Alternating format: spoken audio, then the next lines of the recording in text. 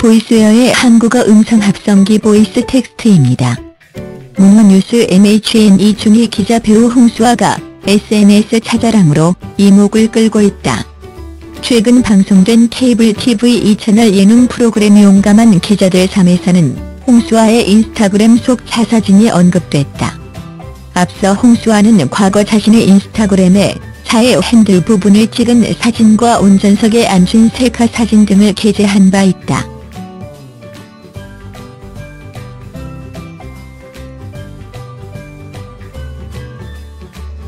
등록하시려면 보이스웨어로 연락주세요.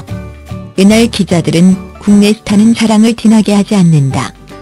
홍수아는 차의 로고가 살짝 보이게 사진을 찍는다며 설명했다. 한편 홍수아는 지난 23일 개봉된 영화 영모 반란의 시대에서 열연을 펼쳤다.